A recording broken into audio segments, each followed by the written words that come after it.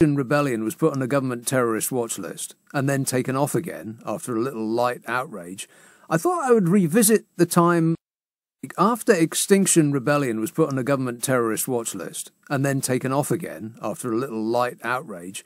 I thought I would revisit the time last summer when they took over a part of central London and had a very noticeable effect on the area that you had to be there to experience.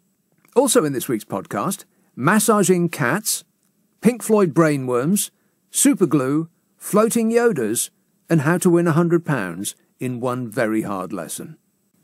And the Extinction Rebellion uh, protesters are in the news, uh, well, they're all over the news like white on rice. And they got onto the roof of uh, an evil broadcasting corporation's main office today and tried to shut them down after it interviewed a former police officer who thinks the detectives should uh, treat the, the extinction people as extremists. Damn you, free speech!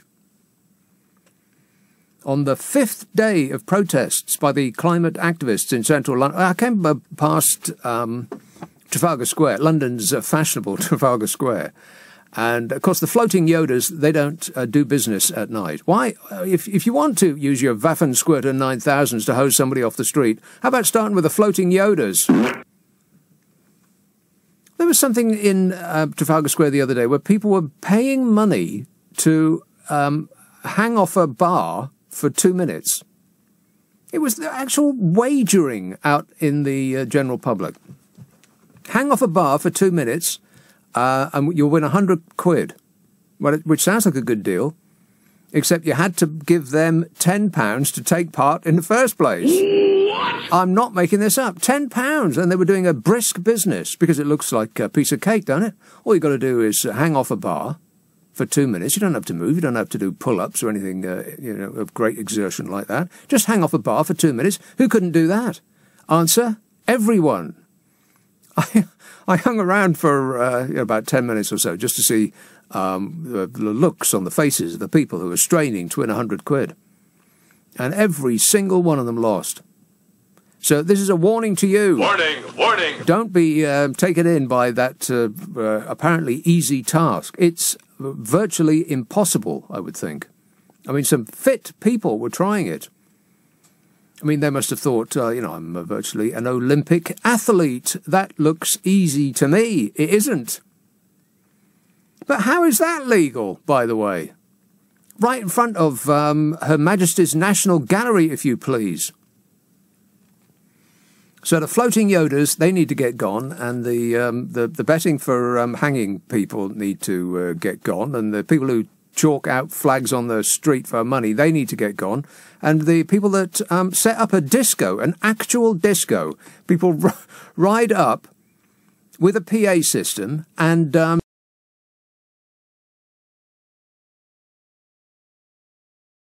is National Gallery. And they are competing, of course, with the three or four rock bands that have set up and are um, doing dreadful covers of Pink Floyd records. Rock and roll! Oh, I saw. Um, uh, did anybody see the uh, the filmic event? Us and them, Roger Waters. Groovy. Ah, that was fantastic. It was one of these things that you see at the cinema. It's uh, it was a concert, but it was I don't know when it took place actually. Um, I'm assuming that it was live at one point. I may not, not have seen the actual live the thing, but I made a big mistake, huge, because it said seven o'clock start, and so I assumed that because it was a concert, it would start at seven o'clock. No! I sat through half an hour of adverts at the cinema. It was excruciating.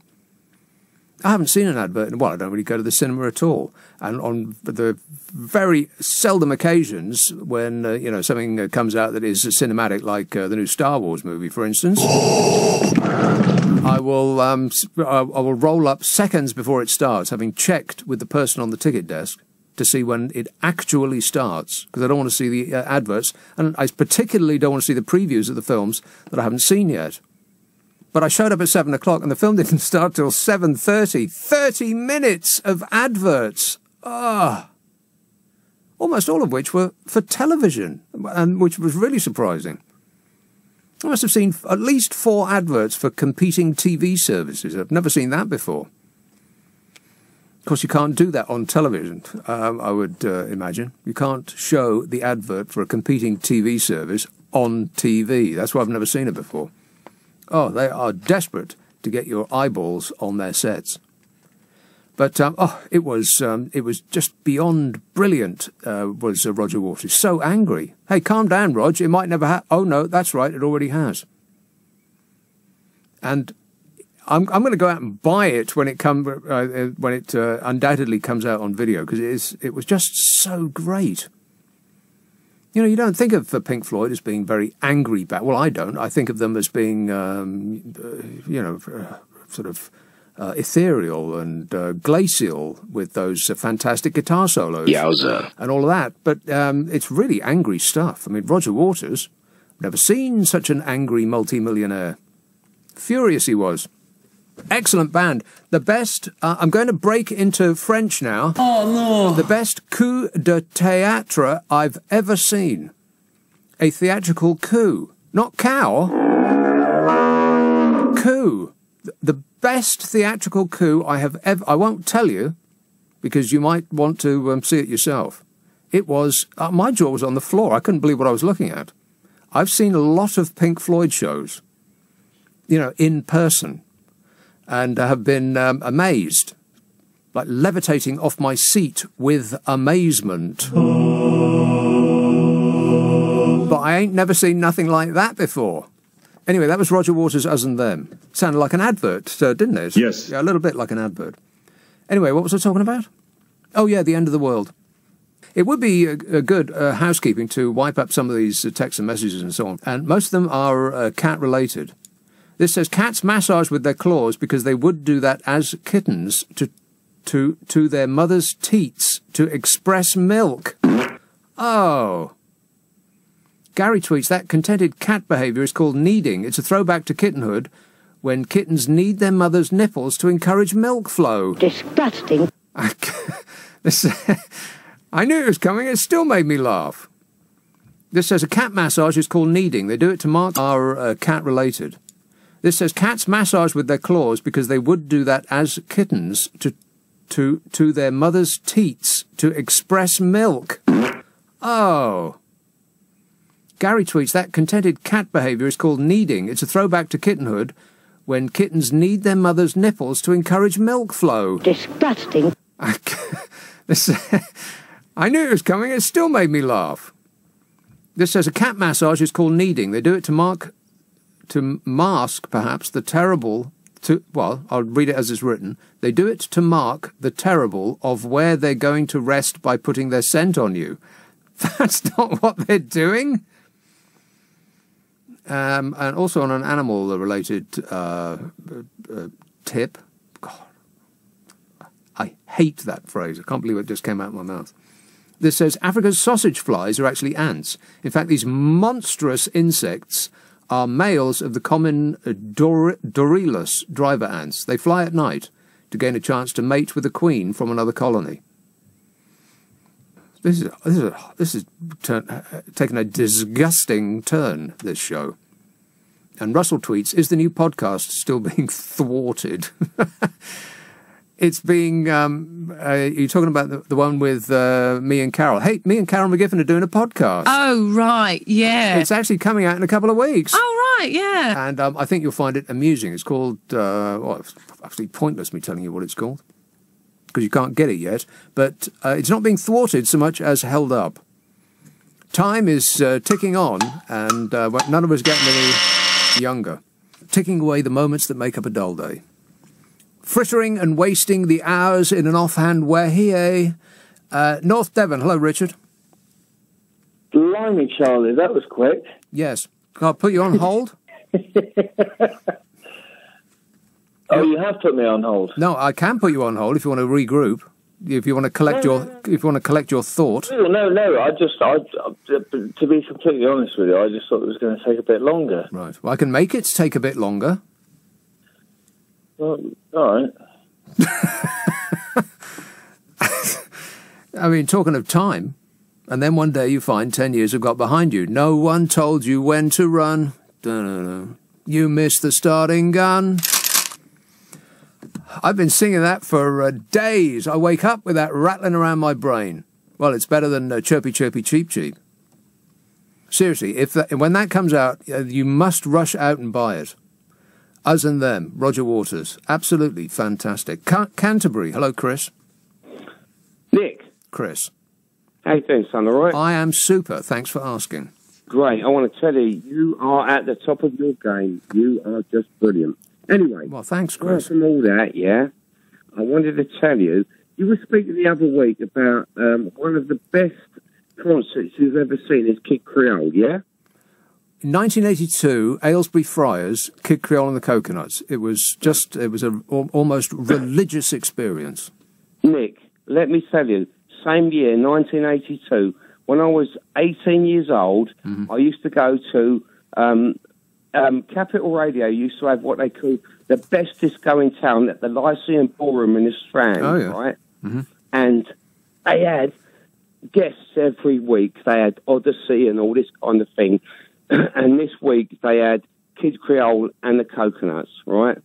There was about 30 30 of artists on stage. Yeah, it was packed He- stage, yeah. He rocked the house, right? There was three 3,000 people of us. You can actually smoke and drink on the dance floor. it was the most brilliant experience I've ever, ever had. And of course, the smoker you drink, the player you get. Don't forget that. All right, thanks for the update, Chris. It was a little, uh, it was uh, wandering back in time. So we're, we're more or less the same age. And uh, we'll never forget unless we do.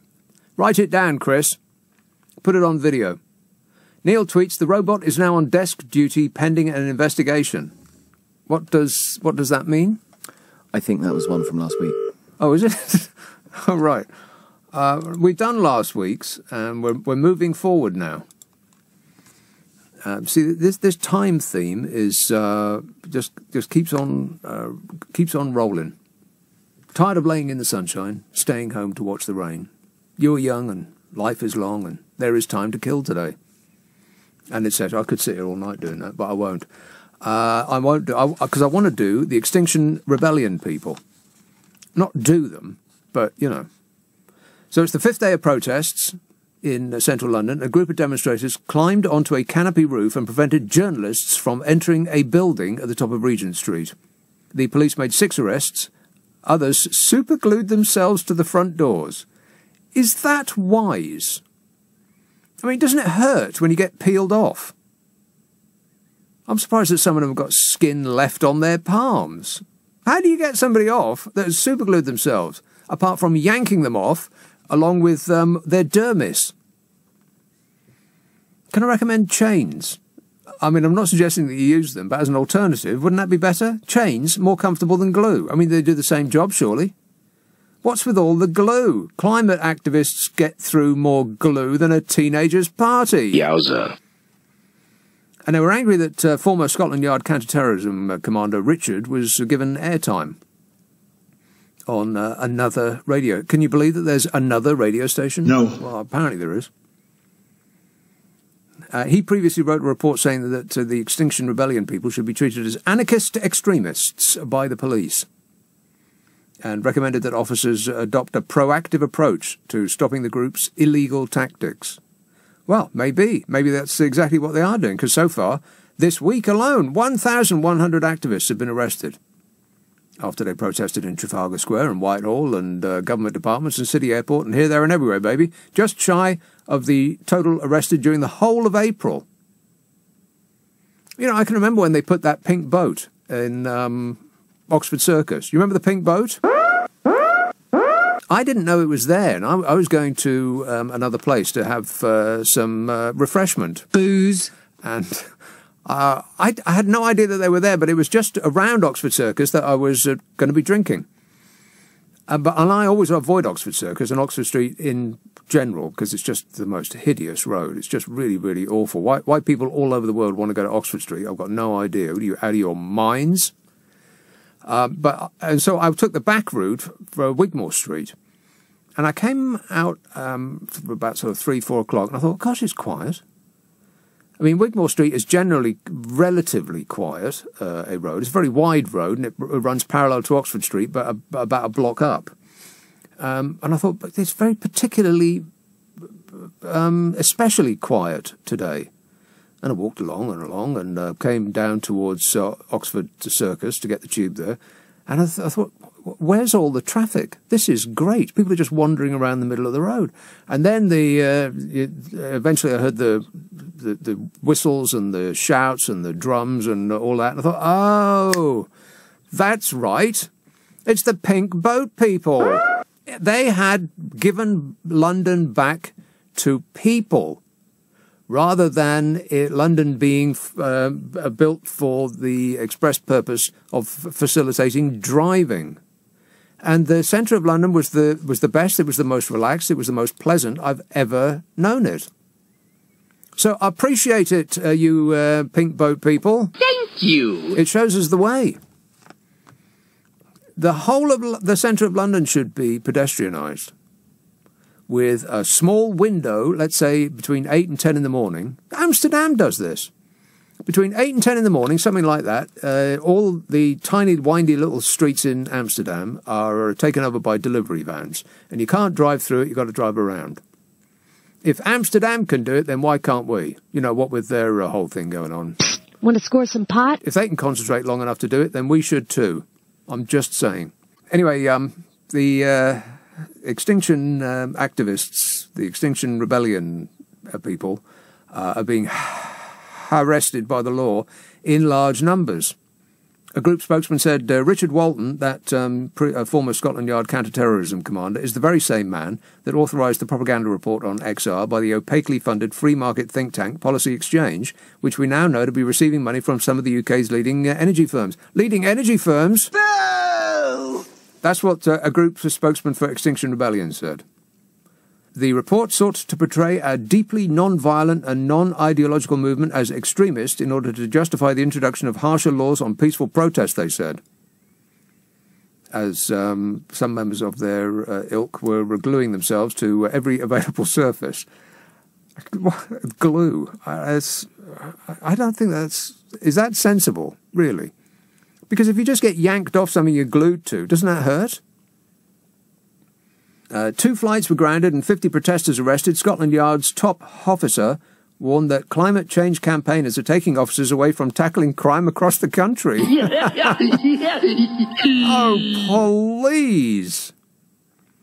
That's the excuse that they don't show up if you're being attacked at this moment. They put you on hold. Uh, Dame Cressida Dick is Scotland Yard's top officer. She urged to Extinction Rebellion, uh, the Extinction. That's very hard to say. You you try saying that. I couldn't. No, he couldn't. See, but if it was their face, your beautiful face.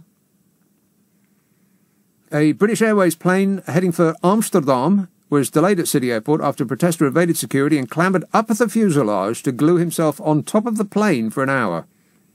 You imagine how frustrating that would be for all those uh, people inside who want to get to Amsterdam. For whatever reason they're going. Cass says, I think that whenever these Extinction Rebellion protesters glue themselves to stuff, they should just be left there. I bet they wouldn't do it again. Well, they couldn't. Uh, Oldbury, hello, Ranjit.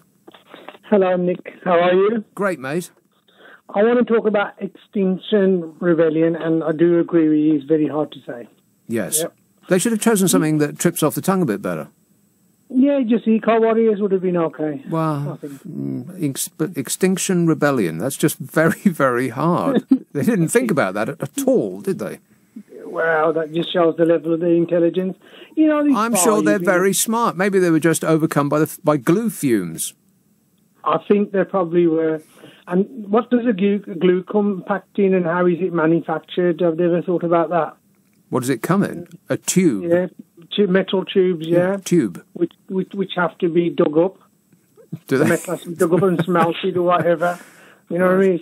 And I totally agree with you. If it, well, whoever said once they're stuck, just leave them there. They won't do it again.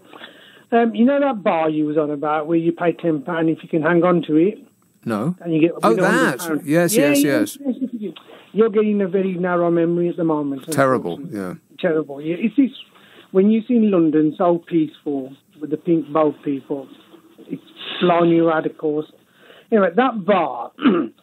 what would happen if they put some super glue on their hand and went up there, they'd win the hundred pound, they'd probably win a thousand, wouldn't they? Uh, well, I suppose so. That's probably called you- you cheating. them It's like cheating, yeah. Because my my son, he's a he's a bit of a bodybuilder, and he had a go at one of those bars in Mm-hmm. Paignton.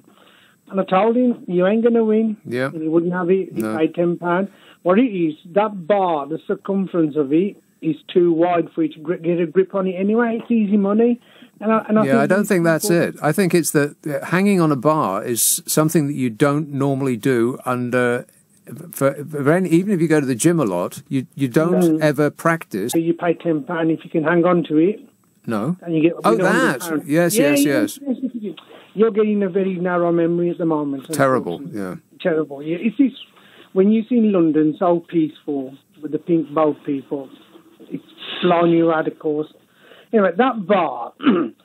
what would happen if they put some super glue on their hand and went up there, they'd win the hundred pound, they'd probably win a thousand, wouldn't they? Uh, well, I suppose so. That's probably called you- did you cheating. tell though. them? It's like cheating, yeah. Because my my son, he's a he's a bit of a bodybuilder, and he had a go at one of those bars in Mm-hmm. Paignton. And I told him, you ain't going to win. Yeah. And he wouldn't have it. He No. paid ten pound. What it is, that bar, the circumference of it is too wide for you to get a grip on it. Anyway, it's easy money. And I, and I Yeah, I don't think that's it. I think it's that hanging on a bar is something that you don't normally do under. For, for any, even if you go to the gym a lot, you you don't ever practice just hanging. You, you're moving. If you're doing chin ups, then there's uh, well, you're not you're not doing chin ups for two minutes unless you're a Superman. Uh, and so I just think it's using a part of your uh, your arms and your grip that you don't ordinarily use. Unless you're a orangutan, because you might be able to. That's right, yes. Did you see him a few years ago? They see if your arms are longer than the in proportion to your body, yeah, you're ape positive. You're ape you positive. Oh, Ape- oh ape my, oh my God! A listener with material. Oh no. Oh, I've been sideswiped. You should be ashamed of yourself, Ranjit. Graham texts, have you seen the stage version of Warhorse yet? I saw it in Leicester the other week. To say it was superb is an understatement. It's the best 36 quid I've ever spent. 36 quid to see a horse? Yeah, I did see Warhorse. I'm sure it was at the National Theatre. And I, I, I spent the entire time thinking, gosh, that's a good puppet. I can't remember really anything anything other about anything else about it other than it, it was a good puppet. Let's have uh, Ruislip. Hello, Colin. Nick, nice to talk to you. Colin. These activists that, that glue themselves to doors, Yeah. what I do is disconnect the doors, say, here's your door, go away, I charge you for a new one. Just take the door off its hinges and leave You it. say, that's yours, or all the bits of brick or, or wherever they're sticking themselves to. Say, that's it, that's yours, off you go. Um, nice day, get that unstuck, I'm charging you for repairs. But when that gets around, that you you get to keep whatever you glue yourself to. That's right. Then chaos will ensue. Why's that? Well, I'll glue myself to a Rolls Royce. No, you just get the part you glue to, the door. You get charged for the door, Okay. not the whole Rolls Royce. No, it's not, it doesn't work like that, Nick. Huh. Well, I thought it did. Well, who's who are you to make up the rules? They they glue themselves to a door, not the building, just the door. Okay. What if they glue themselves to the floor? Move, remove the tiles. Okay. The area in one metre. That's it. That's yours. That's yours. You glued yourself to that. Right. Okay. All right. Thanks a lot, Colin. He's given it a lot of thought. So um, they tried to shut down London City Airport, uh, but they didn't quite manage that. Uh, but they did cause uh, what is described as chaos. And uh, hours earlier, a protester delayed an Aer Lingus flight to Dublin. Because apparently during the pre-flight safety demonstration, a smartly dressed middle-aged man got up and began roaming the cabin, lecturing passengers on climate change. He said, "I don't want to travel, but I don't want I don't want to get off." well, you got to choose one. He says, "I'm sorry. I am. Uh, I'm very sorry." I am very sorry that I screwed up. Totally screwed. I mean, I am so sorry. You just don't know how sorry I am. I'm sorry. He said, I'm extremely sorry for the inconvenience. And as the plane turned back from the runway, to have this person removed, the pilot told passengers he would have to take on more fuel to replace what had been used up during the protest. Addressing uh, Extinction Rebellion activists, Dame Cressida Dick, out of the police, said, not that police, the police, said, uh, protest lawfully or go home. You've caused disruption to many people and caused misery to some people's lives. And that's probably true. But you know what? It pales into insignificance to the world altering changes that will befall us all if they're right about climate change. You know, if the ice melts on Greenland, that's it it's all over. The sea level will rise six metres, which means, London, you will now become. A job. Now, a lot of people will hear you say that and think, oh, well, she's just been taught that at school. Do they teach you that mm-hmm. opinion at school? No, they don't at all. Do they mention it at all? Not really. Right. Do you think they yeah. should? Yeah, I think they should. Uh, in geography, maybe because it's important. It's going on right yeah. now. Well, what do they teach you in geography then? If they don't teach you this, um, we're, we're learning about world trade. Ugh, boring. Yeah, I know. Boring. yeah. So, uh, have you been on any of these extent uh, these um, Extinction Rebellion marches? Um, in March, but I kind of missed it right. by like a day. Um, so no, I haven't. But Some friends have gone to them. But you and, you are yeah. you are with them in uh, in thought. Yeah, because yeah. even though they're doing it quite like up front, they're still just people are missing out like their planes and stuff. But I wouldn't be able to do that if the world was gone. So. Well, if when climate change takes hold and the changes do come as scientists predict, then ain't nobody going nowhere. Yeah, no holidays. Yeah, you can forget that. You'll have to holiday in Watford, Ellie. Yeah. what a horrific thought. All right, thanks a lot, Ellie. Uh, Glenn in Tipton says, I think that the Extinction Rebellion protesters who superglue themselves to doors should be left on the door. And the police should remove the door from the frame and let them walk around all day with the door attached to them. That'd teach them. It's remarkable the resistance that people have to this. They're, they're not trying to save the planet. The planet will be just fine. In fact, the planet will get along a lot better without us. It's it's our way of life that's uh, that they're trying to save. But that that part of the message seems to be lost in amongst the din of uh, you know banging drums and, uh, and the furious reaction. People are treating it as though uh, it's the planet they're trying to save. The, the, the planet can do just fine without us. The planet will be okay. Don't you worry about that. It's our position on this planet that's at risk. Uh, Stephen says, if Extinction Rebellion glued a floating Yoda to the top of the plane, would the plane fly without fuel? Use the Force, Luke. yeah, that's a good idea. He says, is this the answer to our aeroplane-based to carbon woes? Says Sir Stephen. Why doesn't anyone listen to me? Why doesn't anyone listen to him? Buster in Primrose says, I saw the middle of the road, I saw middle of the road performing Chirpy Chirpy Cheep Cheep at a fun fair in Rostock, and it changed my life, he says. What, for the worse? Yeah, I can imagine. Ooh wee, chirpy chirpy cheep cheep. Now I'm going to have that running around my mind. Ugh. And so are you, I bet. You're welcome. Thank you. And that's it. If you like this, you might like the whole show, which we strip the ads out and the news out and put the old shows